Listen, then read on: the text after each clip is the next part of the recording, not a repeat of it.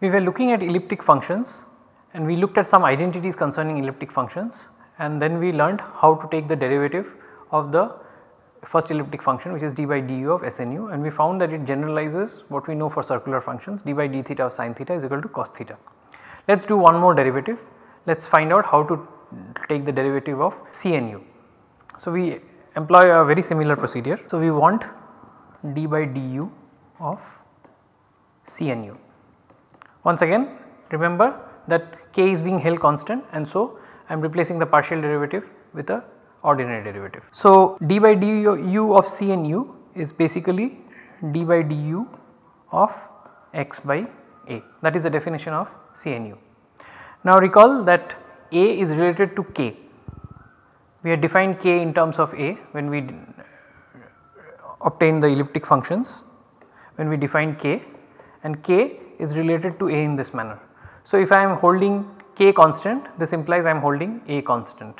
So this implies that in this derivative a is a constant and so can be pulled out. a is a parameter of the ellipse I am on the same ellipse I am not changing the ellipse so a can be pulled out and so this is just dx by du.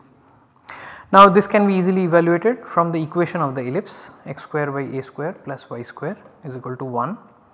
If I take the derivative of this with respect to u then this is x dx by du uh, divided by a square plus y dy by du is equal to 0 and dx by du can be easily expressed in terms of dy by du.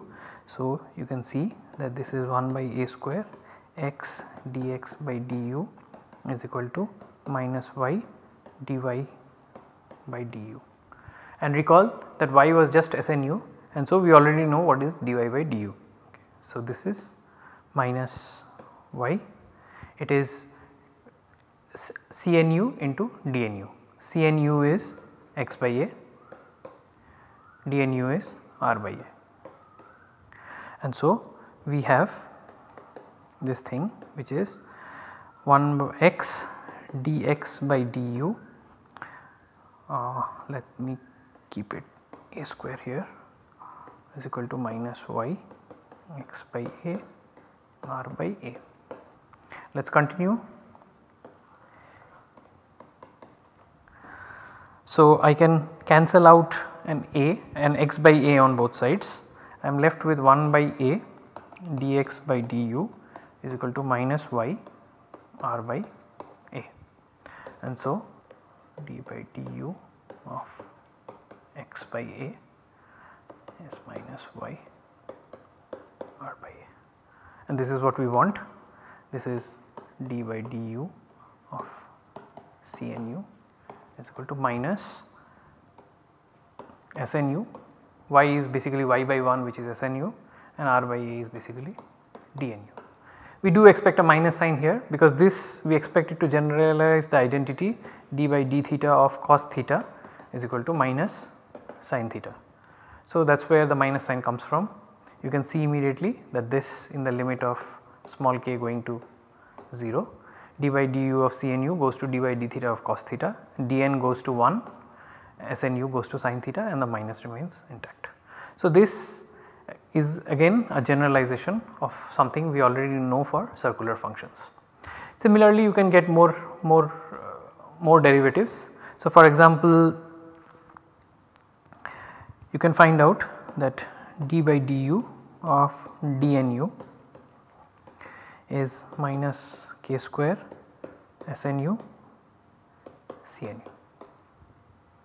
Again you can see that this is consistent in the limit of k going to 0 because dnu just goes to 1 a constant. So, d by d theta of a constant is just 0 and the right hand side also goes to 0 because k goes to 0. So, you can try to prove this on your own.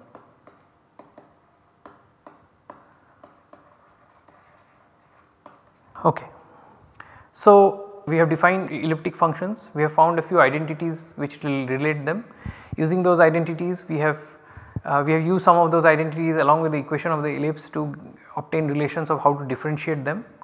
Now let us find out if we can find ways of expressing elliptic functions or inverse of elliptic functions as integrals and this is what we will actually need when we are solving the full nonlinear pendulum. So once again let us go back to circular functions to understand the basic idea. So we know that d by d theta of sine theta is cos theta which can be written as 1 minus sine square theta. Now using this I can actually obtain an integral representation for sine inverse. So, uh, this is d of sine theta into square root 1 minus sine square theta is equal to d theta. If I take t is equal to sine theta, this is a definition, this implies theta is equal to sine inverse t. If I substitute it here then this becomes dt divided by square root 1 minus t square is equal to d of sine inverse t.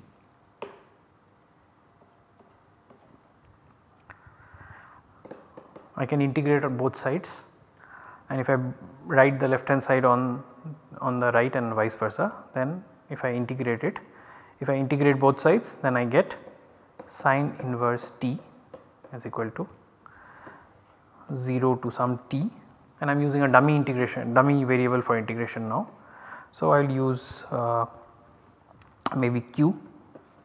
So, I am replacing all the t's by q and I am putting the limit of integration as t. So, that will give me a function of t because all the q's will get replaced after integration with t. So, this is 1 minus q square. So, this is something we know that is uh, integral 0 to t dq by square root 1 minus t q square is sine inverse t from 0 to t. Okay. Now this suggests that if we know the analogous relation for how to differentiate elliptic functions SNU and CNU, I can get integrals which represent Sn inverse u and Cn inverse u. Let us do it for Sn inverse.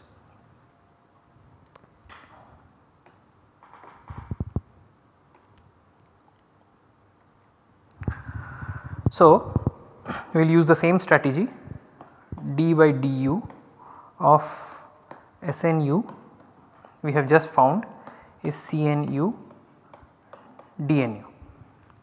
We also know relations between them. So, I will express the right hand side completely in terms of SNU. So, CNU is I am taking the positive square root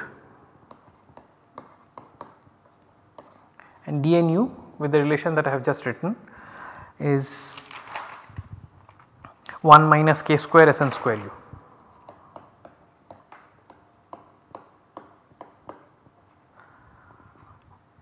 Again a generalization of what we have written d by d theta of sine theta is cos theta. If k goes to 0 then just this part survives the other eh, square root goes to unity.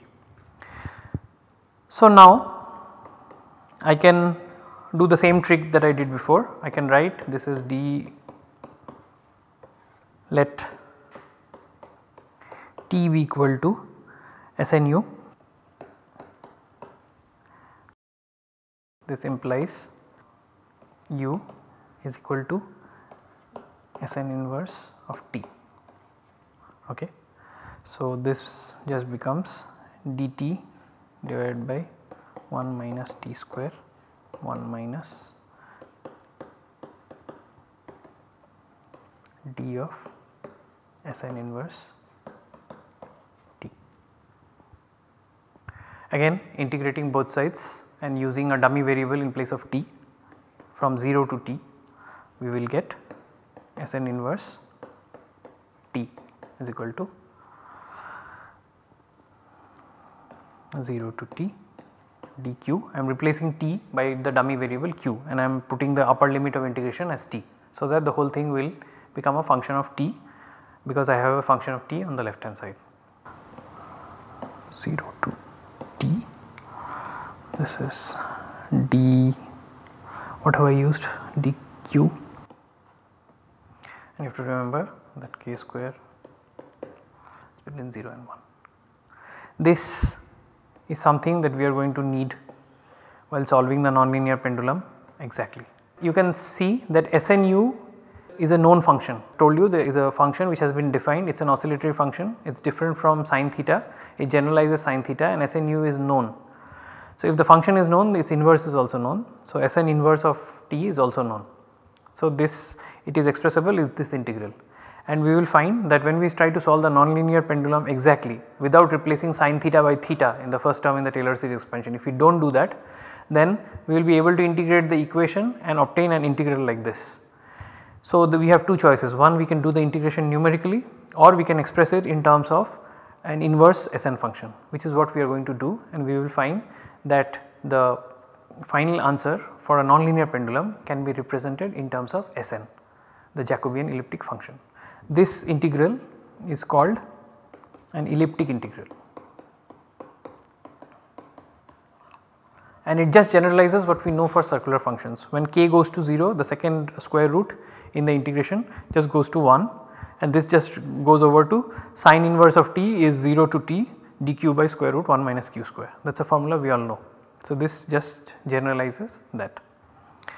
So, this is about so similarly you can find I encourage you to find integral representation of Cn inverse t.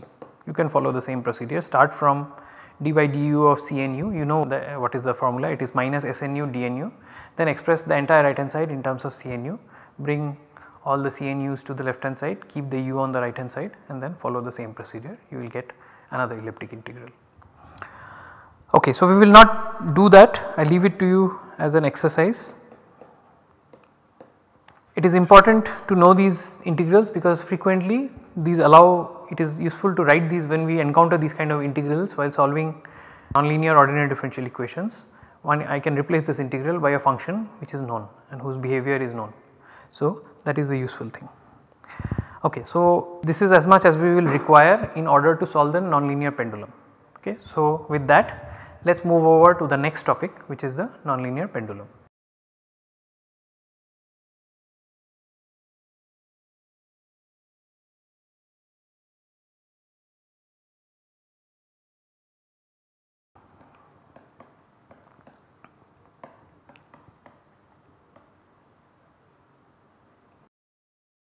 So, you see we are until now we have looked at linear systems, we have looked at linear, we started with a point mass connected to a single spring that was a single degree of freedom system connected to a linear spring, it gave us a linear ordinary differential equation. Then we went looked at coupled systems, we went up to analyze them when we, there were an arbitrary number of masses in the coupled system, but still linear. Then we went on to the continuum limit of that still linear, but we got partial differential equations. All of these systems were, uh, were analyzable using the method of normal modes. The base state was an equilibrium state and it turned out to be stable. That is why we are getting oscillations about the base state. And so we have analyzed we have found out the frequencies of those oscillations using the method of normal modes.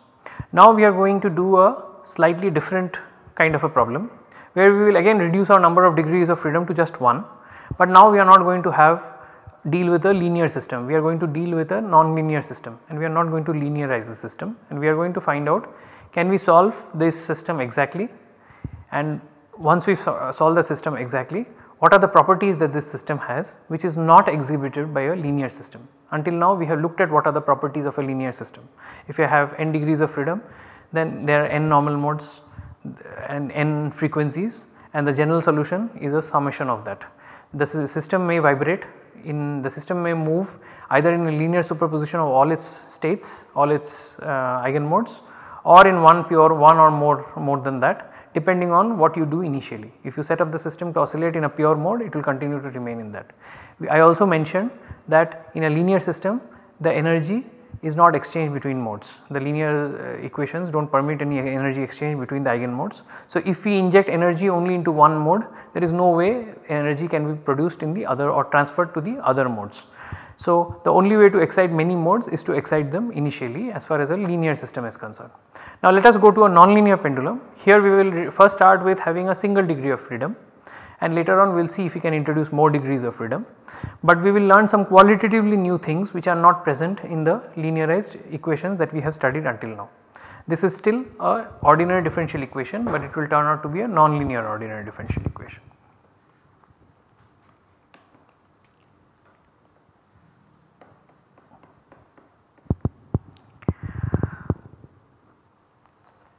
So that is my state of rest. I am going to make the simplest possible pendulum. So it is a point mass, it does not have a finite uh, size, the string is inextensible, massless. So we do not have to worry about moment of inertia and other things. So this is it is a point mass and we will just do a force balance a tangential force balance on the point mass which will give us the equation of the well known equation of motion for a pendulum. So suppose I displace it, it moves in a circle because the string is inextensible. So this is a string of length L and uh, this is angle is measured from here. This is some reference state and let us say this S is the arc length it is going along a circle. So the arc length is a function of time because it is moving in a circle S is equal to L of theta. S is a function of t, L is a constant, theta is also a function of t. Now if the at some instant of time the mass is here then this is the force on the mass by gravity. If I do a tangential force balance the tangent if I draw the tangent to the arc at that point then the tension in the string does not contribute to the uh, force balance because it is normal to the by definition it is along the radius which is normal uh, to the tangent. So, the only force which actually acts along the tangent which has a component along the tangent is the gravitational force. So, if I write down the equation of motion it is m d square s by dt square is equal to minus mg sine theta. You can see that this angle is theta and so the component in that direction is mg sine theta. There is a minus sign because this is a restoring force. The force tries to reduce the angle. So, I have to now express s in terms of theta on the left hand side so as to get my dependent variable in terms of theta. So, this is just ml d square theta by dt square I have just used this relation plus mg sine theta equal to 0. This is just the force balance the regular thing that we do and this leads us to the equation of the pendulum plus g by L sine theta equal to 0. This is the equation that we all learned. Now the first thing about this equation is it is a non-linear equation. It is non-linear in theta. So, we cannot use the method of normal modes straight away on this equation. You can try that you will see that you will run into difficulties. The way in which this equation is typically solved this is a still a second order equation. So, you will need initial conditions in this analysis that we are going to do now we will assume that theta of 0 is theta 0 and theta dot or d theta by dt the initial velocity of the pendulum I will just take it to be 0. You can put some number here and redo the analysis it will just give you slightly bigger expressions, but the qualitative aspects will already be captured by taking these initial conditions.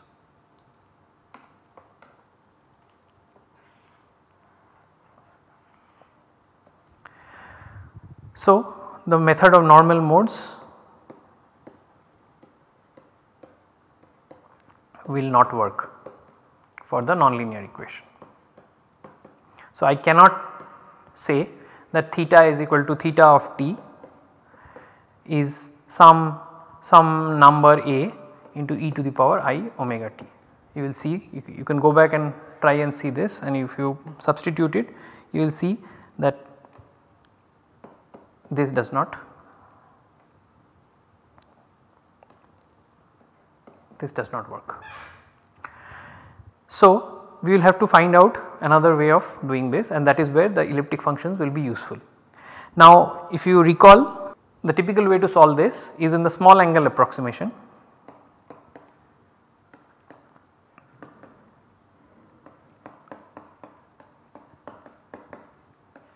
When we say that theta naught the initial angle is small. So theta naught is say small compared to 1 the in, in terms of radians the maximum theta naught that you can give is pi. So, theta naught is let us say a small angle and that allows you to approximate sine theta with the first term in the Taylor series which is just theta. Once you do that then there is a qualitative shift in the nature of the equation and this just becomes equal to 0. This is a linear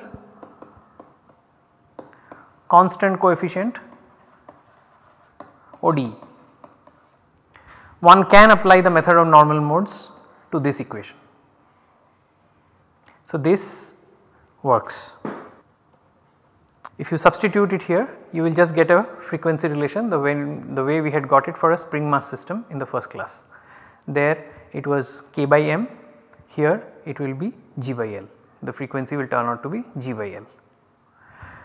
Now we would like to ask the question that suppose theta naught is not small suppose I take the pendulum and leave it at 45 or even bigger angles suppose I leave it at 70 degrees I leave it at 80 degrees is this a good approximation if it is a bad approximation how bad is the approximation? Are there better approximations available? Can this problem be solved exactly? In this particular case it turns out that this problem can be solved exactly with the use of elliptic functions.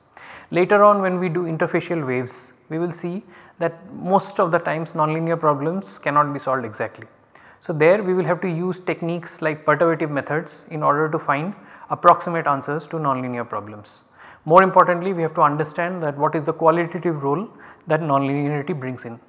So, I will use this example to illustrate many of the things that we will later also see in the context of interfacial waves.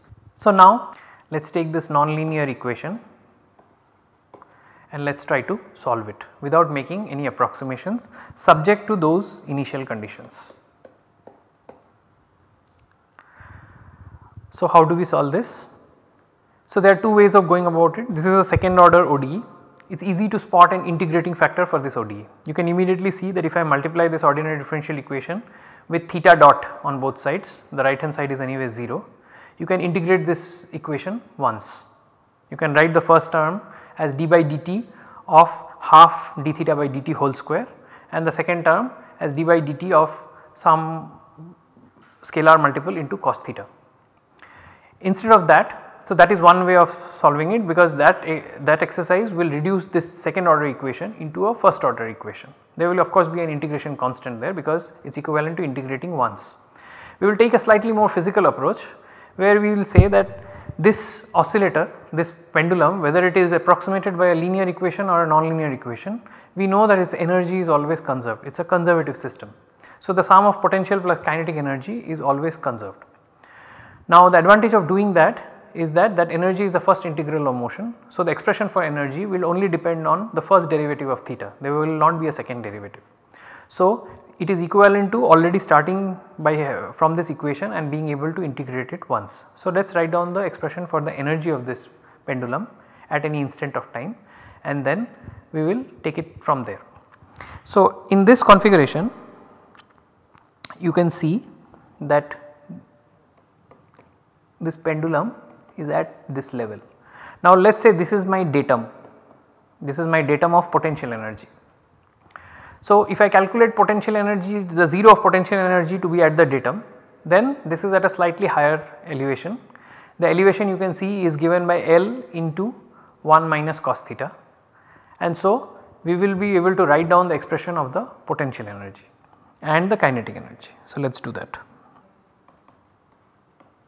Energy of the pendulum at any instant of time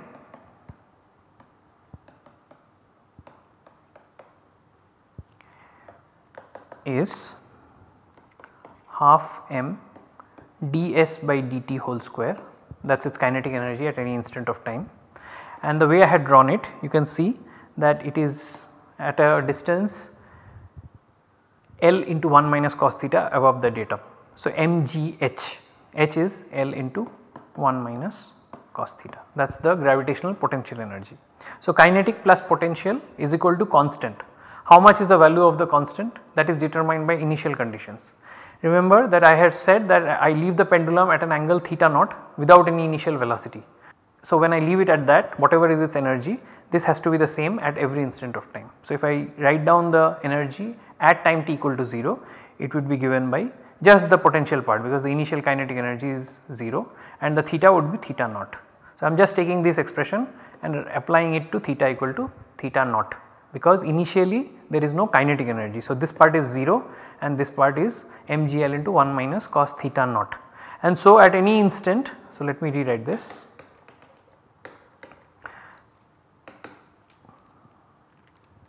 This is the energy at any instant of time and this is the energy at 0 and if the system conserves energy they must be the same. So, this is what is my basic idea. Now notice that this was for one particular set of initial conditions. If you change the initial conditions the expression on the right has to be changed. If you give it a velocity also then you have to add one more term for the kinetic energy that you have imparted it initially. Okay. So, we will solve it for this particular set of initial conditions and we will find out how. Now let me express this in terms of theta S is equal to L theta we have seen that earlier.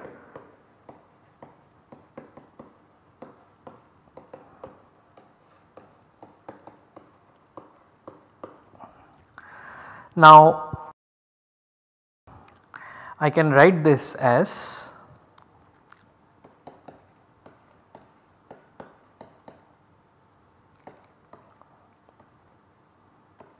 So, the MGL and the MGL cancels out on both sides and then you will get so the mm can be cancelled. So this this and this go get rid of a this and then I will get a g by L into cos theta minus cos theta naught. And we know that g by L if you do have done a linearized if you do the normal mode analysis on this then you will find that omega square I will call it omega naught square because it is the linearized frequency is just g by L. If you do a e to the power i omega t you will just find that omega square is equal to g by L that is just has the units of 1 by time square. Now so I will write this as d theta by dt whole square is equal to 2 omega naught square into cos theta minus cos theta naught. Omega naught square is defined as g by L. I can make it slightly more compact. You can see that I have already reduced the order of the equation by 1. My original governing equation for motion was a second order equation. Because I have instead of that equation I have started with the expression for energy. The expression for energy is a first order the, the derivative which appears is a first order derivative in time there is no second order. And so I have already done one round of integration and this energy initially is the basically is what determines the constant of integration for me. So this if I write it like this then what am I doing here? I am basically uh, this is 1 minus 2 sine square theta by 2. I am just using the identity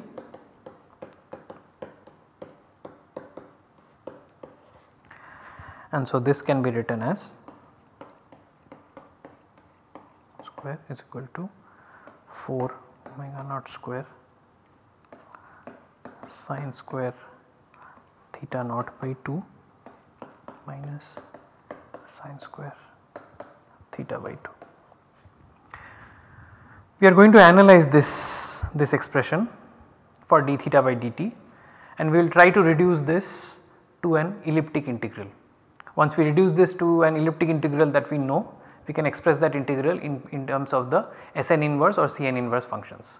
We will do it in the next lecture and we will see that this expression can be exactly solved provided we know how to express the integrals in terms of Sn inverse function the elliptic function.